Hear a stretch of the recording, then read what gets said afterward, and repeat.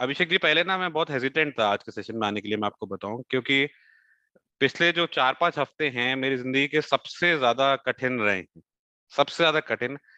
I have not remembered that मैं इतना pen में रहा हूँ कभी अपनी पूरी लाइफ में। हाँ। और उसका रीजन ये था कि मेरा छोटा बेटा है करीब दो साल का होने वाला उसकी तबीयत काफ़ी खराब थी। आ, और हमने कुछ टेस्ट कराए थे उसके रिजल्ट्स काफ़ी डिस्टर्बिंग आए थे। आ, तो बहुत ही पेनफुल पीरियड था और अंदर से मैं तड़प रहा था। और इस दौरान ना, जो as art of living teacher का कर्तव्य होता है, अपने कोर्सेज तो सिखा ही रहे थे बल्कि ज़्यादा कोर्सेज नॉर्मली दो तीन हफ़्ते में एक बार सिखाते, इस बार बैक टू बैक कोर्सेज और भगवत गीता डिस्कोर्स भी मैं लीड कर रहा था।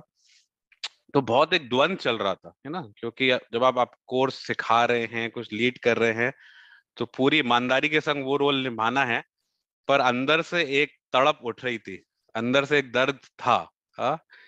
वो मैं जानता हूँ कि क्या गो थ्रू कर रहा था। इनफैक्ट एक कोर्स मैं सिखा रहा था तो पार्टिसिपेंट से पूछा कि आप क्या लेके जाना चाहते हैं इस कोर्स से? और उन्होंने बोला कि, सर, आपकी जैसी स्माइल ले जाऊँ बस। हा? और उस मोमेंट पे almost I had a tear in my eye रोने वाला था मैं, क्योंकि मुझे पता था कि अंदर मेरी कितनी तड़प चल रही है। पर मुझे उस वक्त ये समझ में आया कि ना it's not me who teaching this समझ में तो आता है।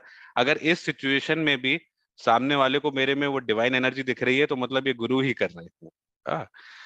तो ये तड़प के संग संग एक विश्वास भी था कि कुछ भी हो जाए। He is there with me he is always said I will be there with you when you need me not when you think you need me तो मेरे अंदर से बहुत तड़प हो रही थी कि गुरुजी एक बार बात कर लो प्लीज़ है ना? बच्चा जब परेशान होता है तो क्या होता है? सब माँ के पास भागता है ना। तो गुरु तो हज़ार माँ का रूप है। तो मुझे अंदर बहुत तड़प उठ रही थी गुरु जी प्लीज़ एक बार बात कर लो। और मैं यहाँ पे कैनेडा में गुरु जी उस टाइम बैंगलोर में। तो उस टाइम एक लकीली हमारी एक एंजल है। अभी वो गुरुदेव से मिलने की हुई दिल्ली में है मेघा जी।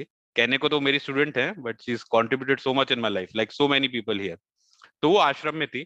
उन्होंने कहा कि भैया मैं ना आपसे, गुरुदेव से वीडियो कॉल पे बात कराती हूँ। मैं सुबह आयुष शोमा के लिए जाती हूँ, कम लोग होते हैं और बात हो जाएगी। हाँ। तो वो गई और उन्होंने वीडियो कॉल कराया और गुरुदेव ने करीब एक मिनट हमसे बात करी होगी। आप सोचें कि महाशिवरात्रि का समय है, इतनी भीड़ भाड़ है और वीडियो कॉल पे मैं कुछ बोल रहा हूँ, वो मुझसे क्वेश्चन पूछ रहे हैं, फिर मैं जवाब दे रहा हूँ, फिर वो क्वेश्चन पूछ रहे हैं, पर एंड में वो फ़ोन के ऊपर ऐसे हाथ रखे आश्रम और बोले, हो जाएगा। इतना बोले, है ना? और मतलब it was a very emotional moment for for me and my wife also a teacher और जैसे बोलते हैं ना कि गुरु के शब्दों के पीछे फिर उसका अर्थ आता है तो गुरु ने कुछ बोल दिया तो हो ही जाना है हा? और उसके बाद क्या हुआ हमें पता नहीं है पर पिछले दो हफ्तों में हमने मैजिकल ट्रांसफॉर्मेशन देखा अपने बेटे में and now is back to normal there is nothing you know that we've done differently that we were doing before or you know we've been doing after. जैसा पहले चल रहा था हमें अप, अपनी तरफ़ से कुछ एफर्ट में चेंज नहीं आया पर उन्होंने बोला हो जाएगा तो फिर होके रहा। हा? तो इस पूरे एपिसोड से मुझे दो चीज़ें समझ में आई। एक तो ये था कि अपना कर्तव्य निभाते रहना है इस बात पे, चाहे कुछ भी चल रहा हो अंदर से, है ना? एंड सेकेंडली जो बार बार ना, कई सारे सीनियर टीचर से मैं सुनता रहता था कि he will always be there when you think when you need him not when you think you need him हाँ? तो उनको पता था मैं इस तड़प में हूँ तो उन्होंने फ़ोन पे भी बात करके मुझे करीब करीब एक मिनट दिया, जो कितनी बड़ी बात है।